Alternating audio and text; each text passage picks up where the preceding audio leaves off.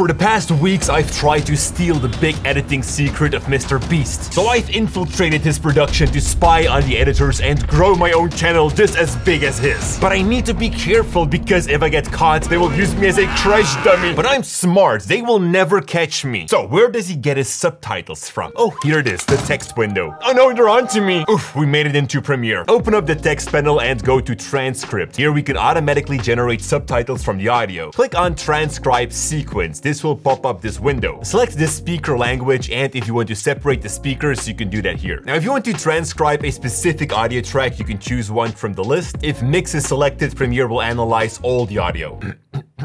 Click transcribe and let Premiere do its thing. Premiere does a really good job at transcribing, but there's always a small mistake somewhere. So double click on the text in the captions tab and correct it if needed. Nice, now open up the menu on the top right and click create cla captions. Captions.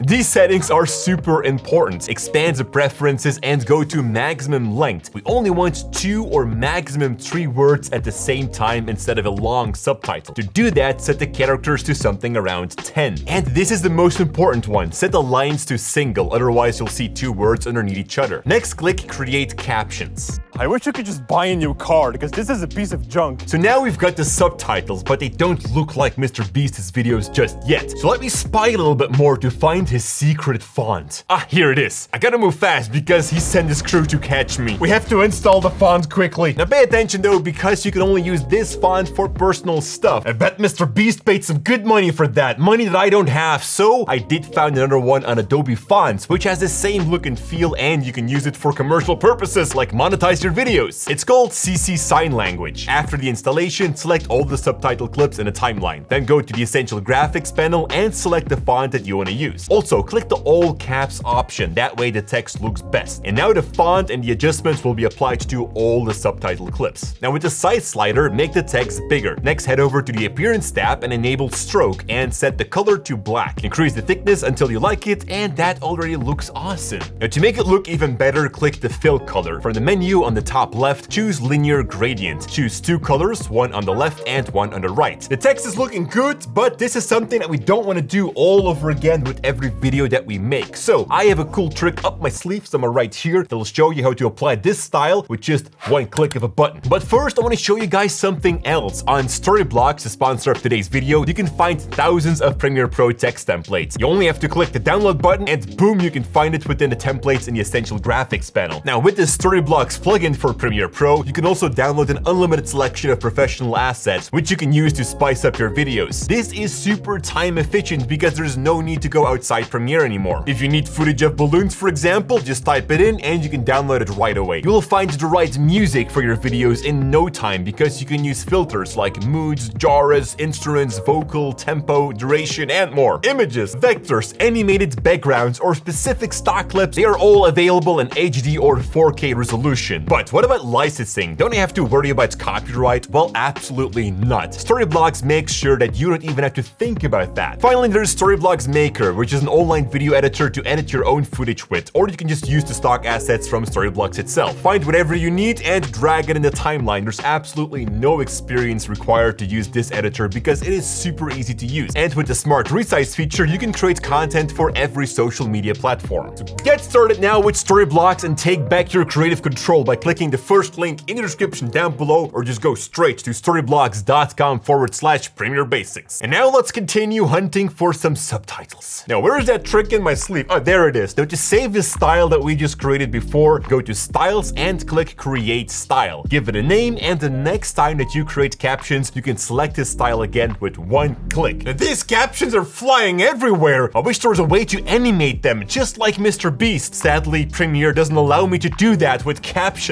Crap, they got me. Please no, I don't want to be a crash dummy. Now they might have caught me, but I overheard something else. Premiere does allow us to transform captions into graphics. To do that, select all the subtitles in the timeline and go to the graphics and titles menu on top. Choose upgrade caption to graphic. And now you can do whatever you want with them. For example, a zoom animation. Find the transform effect and drag it above the text layer in the effects controls. It will become clear in a second why we use this effect. First, select the anchor point and align the two crosses in the middle of the text. Then grab the text and align both crosses with each other. So that way the text is back at the bottom. We're doing that because we want to zoom in to right here. Go to the beginning of the clip and set the scale to zero. Then move three to four frames forward and set the scale to 100. Now we want this animation to be smooth and to do that, right click the second keyframe and choose ease in. Now the reason why we use the transform effect is because we can introduce motion blur with that. Go to shutter angle and set it to 180 degrees. Isn't that looking beautiful now? Now I found a few more text animations that you want to know about. Find the directional blur effect and drag it onto the text layer. In the effects control, set the direction to 90 degrees. Move to the first frame of the clip and set the blur length to 1000. Then set a keyframe. Move three frames forward and set it to zero. Now leave the playhead where it is and go to opacity. Then set a keyframe and move the playhead back to the beginning. Set the opacity to zero. And now the animation looks like this. Now you can make this look even better if you download our free earthquake pack and just drag that preset onto the clip. You definitely want to check that out. I'll leave a link to it in the description down below. And you can also save your own animations by simply right-clicking the effect and choose to save it as a preset. I wish I could just buy a new car because this is a piece of junk,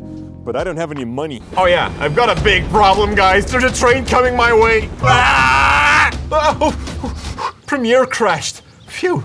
I'm coming for you, Jimmy! I will be bigger and better than you! Oh, and by the way, these subtitles mean nothing if you don't know how to make transitions like Premier Beast, so check the video here. I'm left, guys, and as always, stay creative.